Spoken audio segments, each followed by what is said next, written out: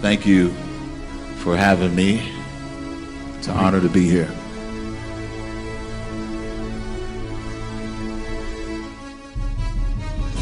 We all have a story. We all have pain.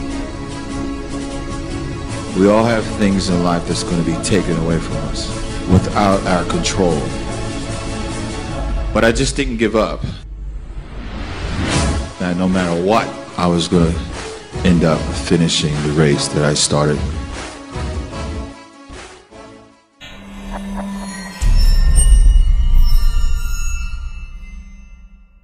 Hey everybody, Mandus Buckle with Maximum Muscle Report. We're at the 2018 Chicago Pro.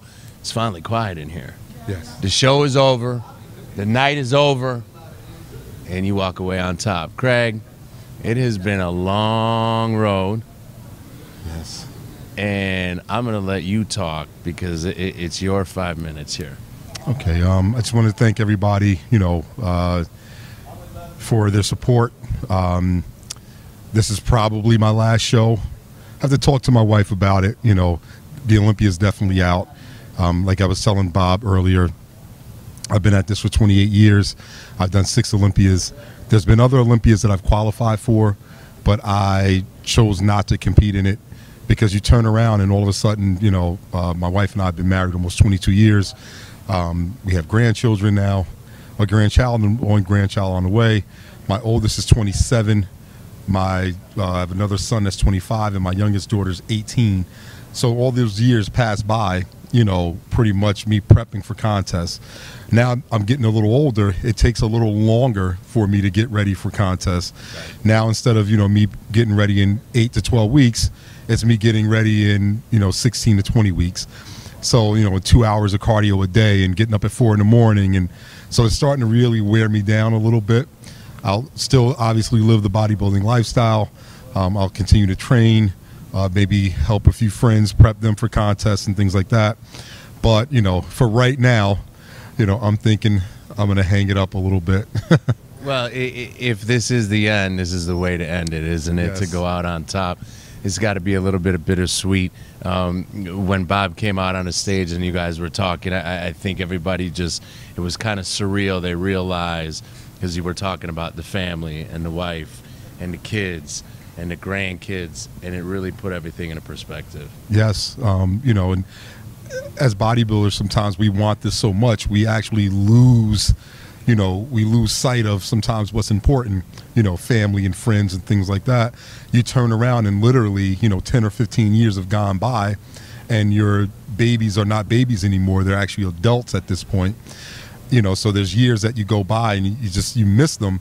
Um, so now with my grandchildren, we already have uh, my grandchild and uh, two of my kids. We have uh, vacations planned for this summer. Um, so it's obviously also I work for the school system, so I have summers off.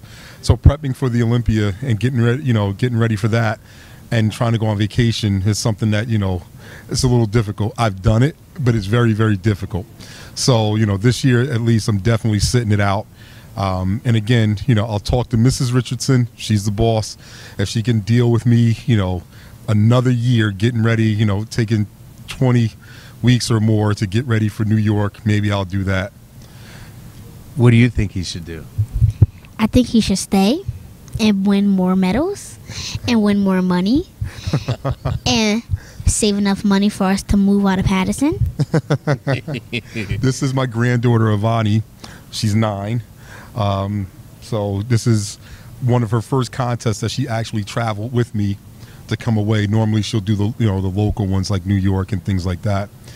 But you know, um, I figured this is the last one, so let her come out and Absolutely. let her you know see what goes on when I'm away because they all think I'm on vacation when I'm Right, away. right. They don't they don't know that like you know dad or granddad is like suffering in a hotel room you know with dehydration and I'm Right. I'm hungry and sleep deprived.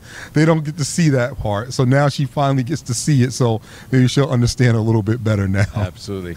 Well, Craig, if this is your last, uh, it's an honor to be able to send you off into the sunset with the victory, with the family here at Maximum Muscle Report. Tim Gardner, we appreciate everything you've done for the sport. Um, we look forward to seeing you now on the other side of, the, of, of things. Um, and on that note, I'm going to step out of the frame, give you a minute to say whatever you want to say to anybody. Uh, this is your time. Um, last year, Tricky retired here at this very show. Oh, wow, yes. Uh, we did the same thing. So I'm going to give you your, your few minutes to say hello or goodbye to whoever Okay. you want to. Uh, and again, thank you so much. Oh, thank you. Absolutely. Um, you know, I'd like to thank uh, obviously all my fans. Um, you stuck with me for years, um, and you guys are great. Um, I also like to thank my wife Jennifer. She's been unbelievable. You know, uh, we've been married a very long time. I've been competing 28 years, and she's been almost by my side just as long.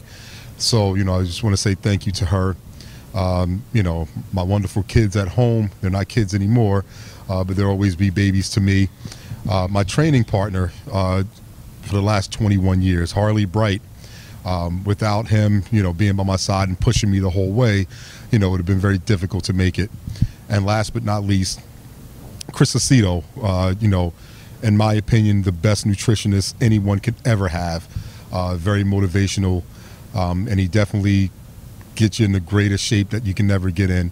So I just want to say thank you to all of you guys. You know, you've been Team Richardson since day one, and you know, I love all of you. And if this is the last one, you know, again, thank you for all of your help.